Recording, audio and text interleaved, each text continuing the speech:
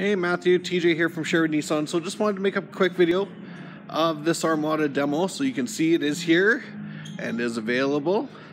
And then I'm just going to run through a few options with you like the 20 inch rims, the dark chromed mirrors which you do get in the Platinum Reserve package only.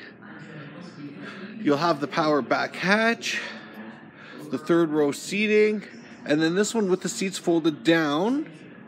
Uh, that's where you get all your extra space. Plus, we're going to have uh, the captain's chairs in the second row here. Just to show you. So you can see, second row has its own console, the DVD units, the heated rear seats, and their own temperature control as well. Along with all the nice soft touch stitching and everything on the sides here.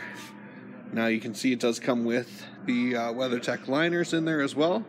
And just go through a couple more things up in the front here.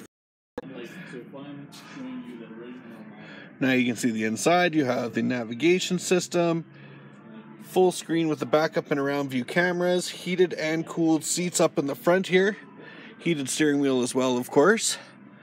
This one will have uh, your lane departure warning, also the blind spot warning and lane departure intervention, and tons of options that I haven't even touched. So Hopefully we can help you out, Matthew, and any questions you have, I am here to help you out. Thanks so much.